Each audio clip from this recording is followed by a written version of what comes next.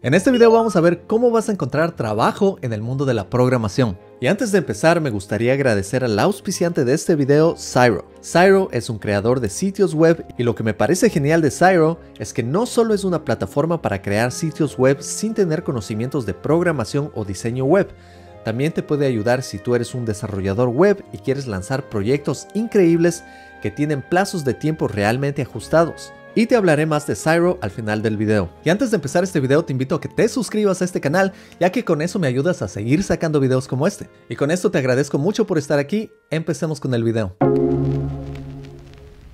Ahora que ya tienes tu portafolio, tienes tu hoja de vida, tienes tu perfil de LinkedIn, es hora de empezar a aplicar a trabajos. Y existen muchas modalidades de trabajo hoy en día, pero las principales son trabajando tiempo completo para una empresa. Esto puede ser directamente en sus oficinas y hoy en día también existen muchísimas oportunidades trabajando remotamente. Y la otra opción es trabajando como freelancer, pero de eso vamos a hablar un poco más en otro video. Si ya has estado trabajando en este campo algún tiempo, va a ser mucho más fácil tomar una decisión. Pero si es que este es tu primer empleo, te recomiendo que tomes cualquier opción que esté disponible. Y antes de compartirte dónde buscar todos estos trabajos disponibles, déjame hablarte un poco de cómo funciona este proceso. Y aquí tienes que saber algo importante y es que realmente el proceso de entrevistar para diferentes compañías es como un filtro. Y este filtro es muy análogo a un marketing funnel, que se traduce a un embudo de ventas. Tú realmente vas a entrar a este embudo y este embudo tiene bastantes niveles que son diferentes filtros. Por ejemplo, una compañía va a publicar un trabajo y van a recibir muchísimos aplicantes. Y tu hoja de vida va a ser el primer filtro. Si la hoja de vida tiene la experiencia que están buscando, te van a llamar. Si es que no, no vas a pasar a la siguiente fase.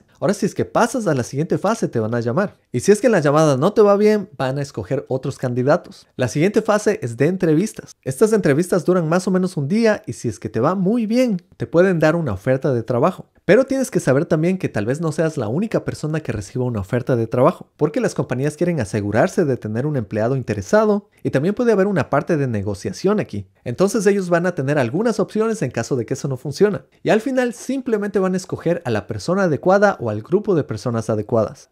Y hoy en día existen cientos de plataformas para encontrar tu trabajo. Yo te voy a dejar una lista de todas estas plataformas aquí en la descripción del video. Y si conoces de otras puedes dejarlos en los comentarios para tus compañeros. Algunas populares en España y Europa son infojobs.net. También hay una que se llama wearehiring.io, talenthackers.net. Hay otra que se llama getmanfred.com y tadatic.com. En estos portales vas a encontrar diferentes trabajos, puedes crear tu perfil, puedes subir tu hoja de vida y puedes indicar a cuáles trabajos vas a aplicar. Ahora algunas de mis plataformas favoritas que son más globales son glassdoor.com, indeed.com, y Crunchboard. Indeed es una de las plataformas globales que más me han servido a mí aquí en los Estados Unidos. Pero he visto que esta plataforma también tiene versiones en diferentes países. Por ejemplo, hay una para México y también hay una versión para Argentina. Simplemente tienes que cambiar el subdominio de www a AR en Argentina. Y lo interesante de Indeed es que ahí puedes encontrar muchísimos trabajos y puedes filtrar en diferentes opciones específicas. Por ejemplo, si quieres ser un desarrollador full stack, puedes poner la palabra full stack y filtrar todos los trabajos. Si deseas que sea un trabajo remoto, puedes poner la palabra remoto. E incluso los trabajos que encuentres los puedes filtrar por un salario. Muchas veces las compañías no van a poner los detalles del salario hasta que vayan por todo el proceso de la entrevista. Pero hoy en día los salarios son mucho más transparentes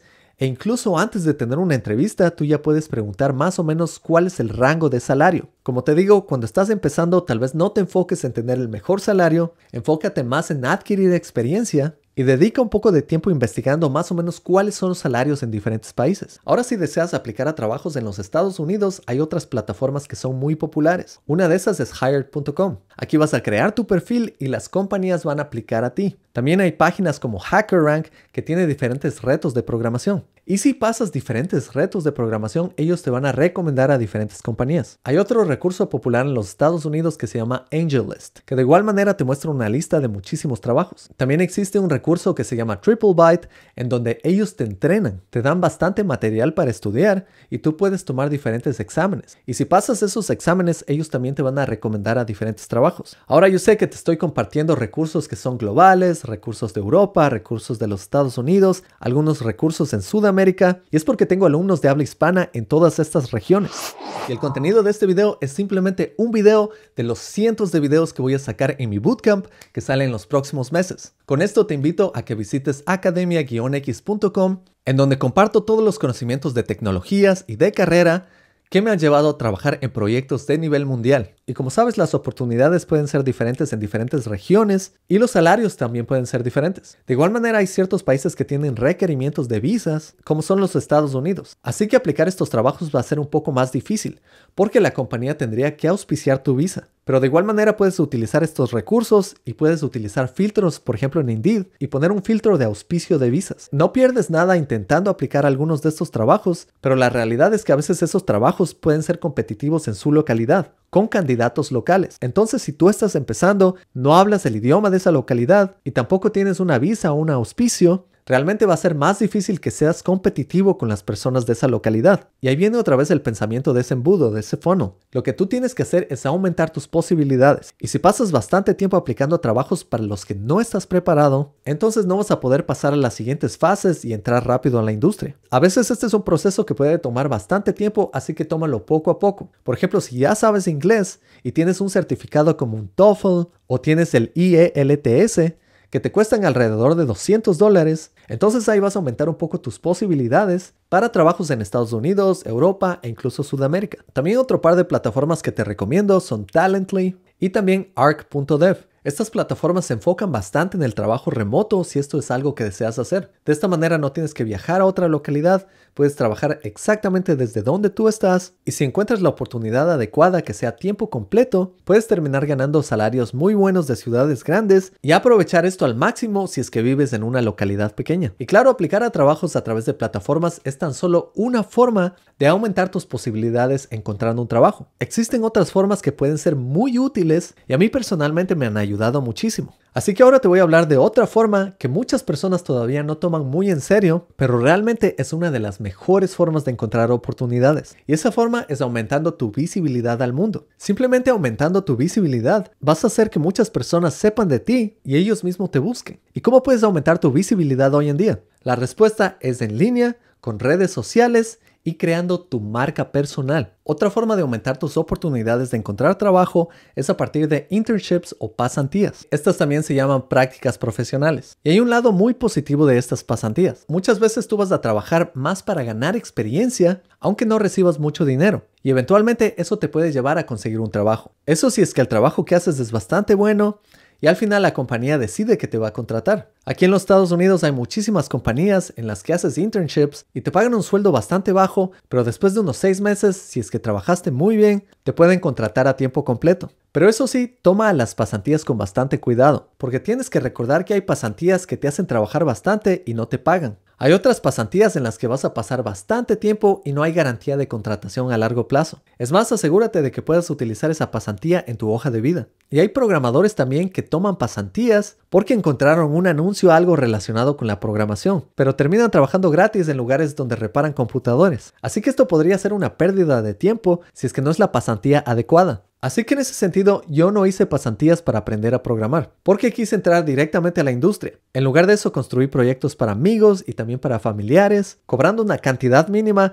o a veces haciendo trabajo gratuito, pero haciendo algo que podía poner en mi portafolio y también les serviría a ellos. De igual manera revisa la sección de anuncios, que ahí voy a poner diferentes anuncios sobre pasantías. De esta forma te puedo pagar una parcialidad de este curso para que al final aprendas, pagues menos y ganes más experiencia. Y como te dije al inicio de este video, no quiero irme sin invitarte a visitar a nuestro auspiciante Cyro. Cyro no solo te puede ayudar a crear sitios web de forma rápida e intuitiva, también te permite publicar tiendas online profesionales y tienen potentes herramientas de e-commerce. Cyro tiene precios realmente buenos, se carga bastante rápido, es fácil de usar, es compatible con SEO, cuenta con soporte 24/7 sin bots y te da 30 días de garantía de devolución del dinero. Usa la oferta por tiempo limitado de Cyro utilizando el cupón Programador X y obtén un descuento exclusivo más dominio personalizado y 3 meses extra con planes anuales. Otra forma que te va a permitir conseguir un trabajo es a través de networking.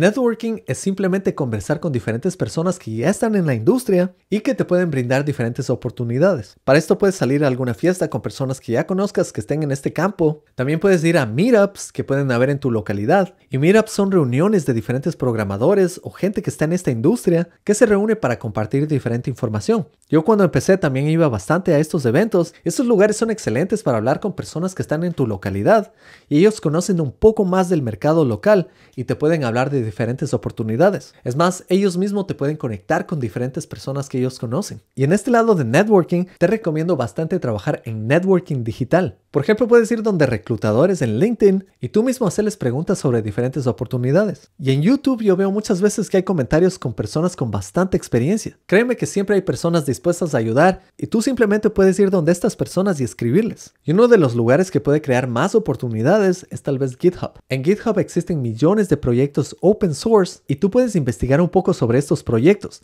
ver quién está trabajando detrás de ciertos proyectos, especialmente si son proyectos en tu idioma o en tu localidad. Y esta manera tú puedes contribuir a estos proyectos y la persona con quien trabajes va a ver más o menos cómo tú estás trabajando. Eventualmente ellos te pueden ofrecer un trabajo si es que eres una persona que contribuye bastante y ellos pueden ver tu código frecuentemente. Y aquí he cubierto la mayoría de formas para aumentar estas posibilidades, pero no olvidemos una de las más importantes y que está justo frente a ti, y esa es buscar diferentes oportunidades localmente Estoy seguro de que cualquier lugar donde vivas va a tener alguna ciudad grande cerca, y si es que hay una ciudad grande, también hay oportunidades locales. Eso quiere decir que ya debe existir algún servicio para tu localidad, un servicio donde publiquen diferentes trabajos. También debes tener personas en tu familia o amigos que conocen a alguien que trabaje en la industria de la tecnología o algún ingeniero. Todas estas conexiones que están frente a ti son personas que te pueden ayudar realmente a conseguir tu primera oportunidad. Así que realmente aprovecha eso. Como sabes, tienes Google frente a ti, puedes poner simplemente trabajos en tu localidad y vas a encontrar muchísimas oportunidades. Busca grupos de Facebook en tu localidad y a veces también hay grupos de WhatsApp a los que te puedes unir. Si quieres abrir tus oportunidades globales, tienes que aprender inglés. Eso te va a abrir las puertas al mercado global. Así que no lo pienses dos veces y estudie inglés. Todas estas opciones no las vas a poder aprovechar en un día. Así que de seguro créate un calendario en el que, por ejemplo, todos los días lunes vas a aprender una nueva plataforma, vas a subir tu perfil y vas a aplicar a unos 5 trabajos. Todos los días martes vas a contribuir a un paquete open source de GitHub. Todos los días miércoles puedes ir a un meetup y así queda en tus manos el resto de este calendario. Pero con esto ya tienes una idea de cómo avanzar en este embudo. Si te gustó este contenido no te olvides de darle un like, de suscribirte y activar las notificaciones porque la meta es seguir haciendo crecer este canal y seguir invirtiendo en él para seguir brindando conocimientos en el mundo de la programación. Gracias por estar aquí y nos vemos en la próxima. Chao.